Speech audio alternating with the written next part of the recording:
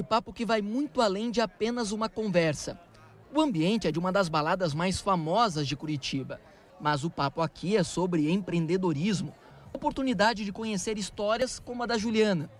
De vendedora de pirulitos em portas de escola, ela criou uma empresa de brigadeiros no carrinho que já está fazendo sucesso. Hoje eu vejo assim meus carrinhos. A gente mandou um carrinho agora para Londrina e um para Bahia. É mais do que eu já esperava.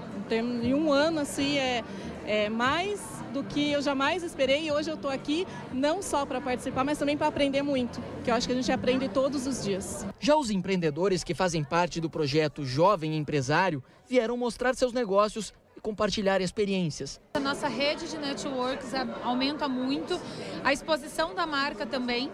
É, a gente pode expor para pessoas que talvez a gente não tivesse acesso. Bastante oportunidade de conhecimento, crescimento, identificar os nossos erros dentro da nossa empresa e abrir os olhos para a expansão. Esse é o nosso intuito. Sempre quando a gente está no meio de pessoas empreendedoras, sempre alguém tem um ponto de vista um pouco diferente do teu e acrescenta alguma coisa. E aqui está todo mundo de braços abertos para uma troca. Os convidados também tiveram a oportunidade de fazer uma sessão particular de mentoria com os mentores do projeto.